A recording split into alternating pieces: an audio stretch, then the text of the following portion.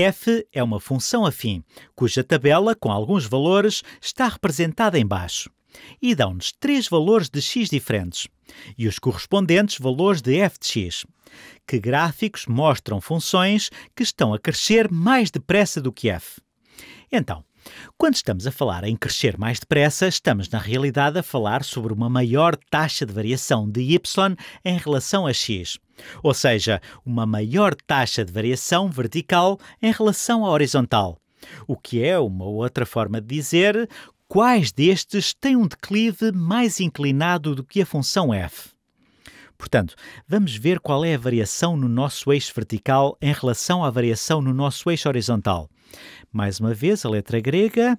Este triângulo é a letra grega delta, que é uma abreviatura para variação em. Isto é variação em f sobre a variação em x.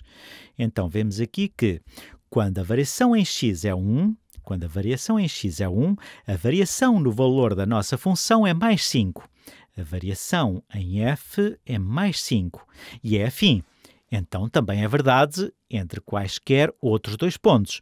A razão entre a variação em f e a variação em x é a mesma. Se aumentarmos 1 mais uma vez, aumentarmos 1 na direção do x, estamos mais uma vez a aumentar f em 5. Se começarem neste ponto e percorrerem todo o caminho até aqui, então se forem mais 2, se forem mais 2 em x, vão mais 10, mais 10 em f. Então seria 10 sobre 2, o que continua a ser 5. De ambas as formas, o declive, ou taxa de variação do eixo vertical em relação ao eixo horizontal, é 5. Agora vamos ver quais destas crescem mais depressa. Bom, o A nem sequer está a crescer. Então o A está a decrescer. Com o aumento do x, y decresce. Então, definitivamente, este não é o caso. Se olharmos para este, parece que, vamos ver, se começarmos aqui, se aumentarmos 1 na direção do x, se a nossa variação em x for 1, parece que a nossa variação em y é exatamente 5. 1, 2, 3, 4, 5. Então parece que a escolha B, na escolha B, o declive é exatamente 5. Ou a variação em y sobre a variação em x é exatamente 5 então não está a crescer mais depressa que f. Está a crescer o mesmo que f. Agora vamos olhar para C. Vou tentar encontrar um ponto onde pareça que tenha um ponto com coordenadas inteiras. Então, é este ponto, menos 3 menos 3. E se mover 1 na direção do x, parece que estou a aumentar em mais do que 5. Estou a aumentar, parece que 1, 2, 3, 4, 5, 6, 7, 8. Então, este parece ter um declive de 8.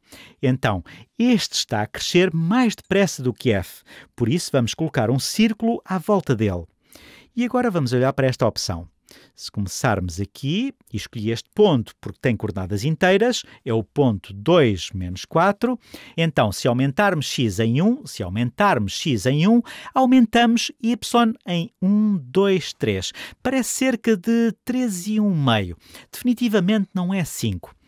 Para esta crescer tão depressa como f, teria de aumentar em 5. Então teria de vir para aqui. Teria de ir para 1, 2, 3, 4, 5. Teria de vir para aqui para ter um declive igual ao de f. Está bem abaixo. Cresce bem mais devagar do que f. Portanto, D não satisfaz os critérios. Apenas o C satisfaz.